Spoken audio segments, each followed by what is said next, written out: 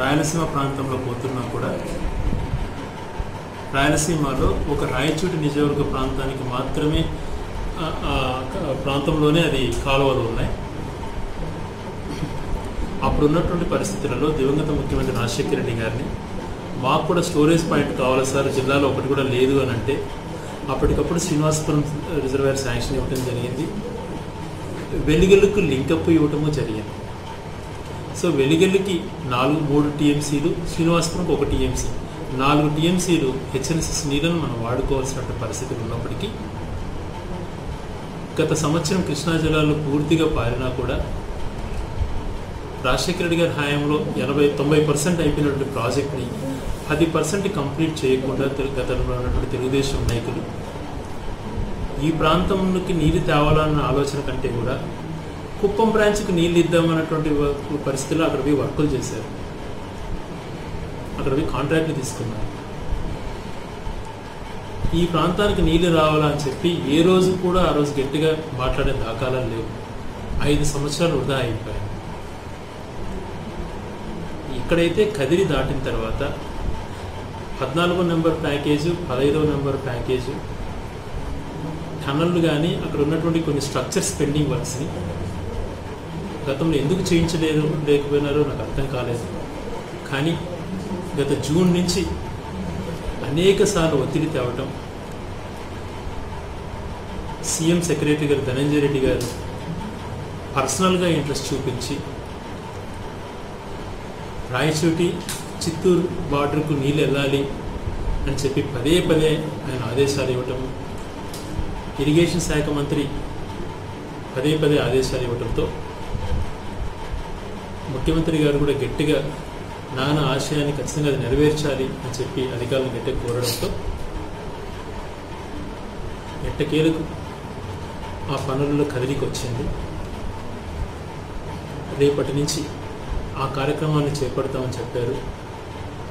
అదే పదిన్నర గంటలకు కదిరి సమీపంలోని ఆ టనల్ దగ్గరికి నాతో పాటు కదిరి శాసనసభ్యులు హిందూపురం శాసనసభ్యులు సారీ హిందూపురం కాదు పుట్టపర్తి శాసనసభ్యులు తర్వాత రాప్తాడు శాసనసభ్యులు కూడా వస్తున్నారు. కాంట్రాక్టులతో ఫైనాన్స్ అధికారుల దగ్గరకు వచ్చి పెట్టి టైం లైన్ సెట్ చేశాము. కాంట్రాక్టర్ల ప్రాఫిట్స్ వాళ్ళ స్వార్థం కోసం పని చేయకుండా డిసెంబర్ ఇరవైకి లోపల దాన్ని కంప్లీట్ చేయాలని చెప్పి గట్టిగా ఆదేశాలు కూడా ఇవ్వడం జరిగింది. మన ఫిబ్రవరి వరకు కృష్ణా జలాలు పంప్ చేసుకునే అవకాశం కలుగుతుంది కాబట్టి ఎట్టి పరిస్థితులలో సంక్రాంతికంతా ఆ కృష్ణా జలాలు రాయచోటి నియోజకవర్గానికి టచ్ అయ్యేదానికి శక్తి వంచన లేకుండా ప్రయత్నం చేస్తాం చేసి తీరుతాం.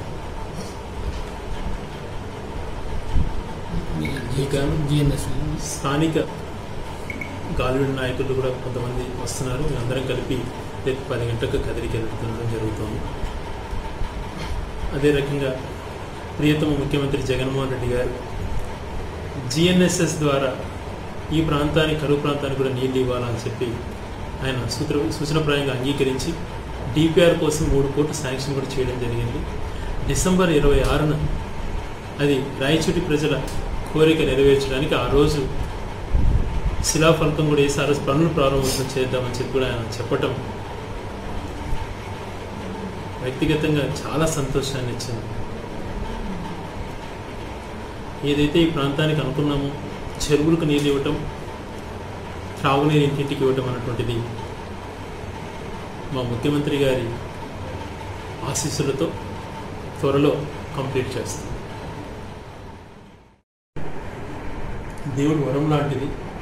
గతంలో పదకొండు వేల క్యూసెక్కులతో ఉన్నటువంటి పోతిరెడ్డి పాడను దివంగత ముఖ్యమంత్రి గారు యాభై ఆరు వేల క్యూసెక్కులకు దాన్ని పెంచడం జరిగింది. మళ్ళీ అదే వరుడు ఎందుకంటే రాయలసీమకు గుండె చప్పుడు లాంటిది ఆ పోతిరెడ్డిపాడు అనుకుంటుంది. ఆ పోతిరెడ్డిపాడులో ఇప్పుడు కృష్ణా జలాలు గత నెల రోజుల నుంచి ఫ్లో వస్తుంటే ఆ నీళ్ళను అంతా కూడా తీసుకురావడానికి ప్రాజెక్టు ప్రాజెక్టు నింపుకోవాలనే ప్రయత్నం ప్రభుత్వం అంతా ప్రతిరోజు కష్టపడి పనిచేస్తుంది. కానీ మనం నిలబెట్టుకోవడానికి ప్రాజెక్టు లేకపోవడం కొంచెం దురదృష్టకరం. అందుకనే నిన్న తెలంగాణ ముఖ్యమంత్రి గారితో కూడా చర్చలు జరిపారు.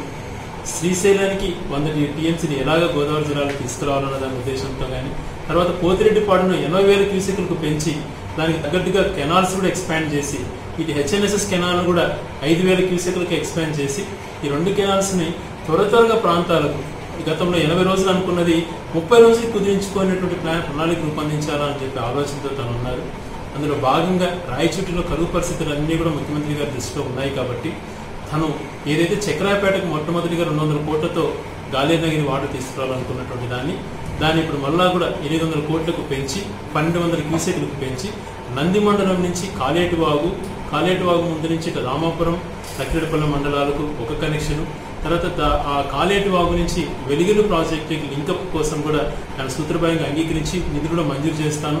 డిసెంబర్ ఇరవై ఆరున శంకుస్థాపన చేస్తాను కూడా చెప్పడం జరిగింది. సో ఆ కాలేటి వాగుకు ఇప్పుడున్నటువంటి కెపాసిటీని ఒకటి ఒక టీఎంసీకి పెంచడం జరుగుతుంది. వెలుగులకు ఆరు వందల క్యూసెక్లు ప్రతిరోజు ఎనభై రోజులకు తగ్గకుండా ఆరు వందల క్యూసెక్లు తీసుకునేదానికి కూడా ఆయన ఆమోదం తెలిపారు. కృష్ణా జలాన్ని ఇటు హంద్రినీవా ద్వారా ఇటు గాలేనగిరి ద్వారా వెలుగులకు రెండు లింకప్ చేయడం ఆ దివంగత ముఖ్యమంత్రి రాజశేఖర రెడ్డి గారికి ఇప్పుడు ముఖ్యమంత్రి జగన్మోహన్ రెడ్డి గారిని మనస్ఫూర్తిగా అభినందిస్తున్నాను. వాళ్ళకి ప్రాంతంపైన ఎంత ప్రేమ ఉందో దీన్ని బట్టి అర్థమవుతుంది. ఒకసారి వెలుగులు రెండు మూడు టీఎంసీ పైన దాటిన తర్వాత మిగిలిన నీటిని శ్రీనివాసపురంతో కూడా ఒక టీఎంసీతో నింపి ఏదైతే మన ఆశయం అనుకున్నామో ప్రతి వంకకు చెరువుకు నీళ్ళు వంటి ఆశయాన్ని త్వరలో నెరవేర్చిపోతాం అదే రకంగా గాలివీడి నుంచి గొట్టివీడికి లిఫ్ట్ ఇరిగేషన్ ద్వారా ఆ పై పంచాయతీలన్నీ కూడా గొట్టివీడు అరివీడు గోరా చెరువు పేరంపల్లె గోపనపల్లె నూరివీడు పంచాయతీల చెరువులు నింకపోవడానికి అదే రకంగా జరికొన లిఫ్ట్ పెట్టి సెట్టిపల్లి గునికుంట చెరువులకు నీళ్ళు కూడా ముఖ్యమంత్రి గారు అంగీకరించారు. ఇవన్నీ కూడా డిసెంబర్ ఇరవై ఆరున శంకుస్థాపన మీకు నచ్చినట్లయితే లైక్ చేయండి షేర్ చేయండి. మరిన్ని ఇంట్రెస్టింగ్ వీడియోల కోసం మా ఛానల్కి సబ్స్క్రైబ్ అవ్వండి.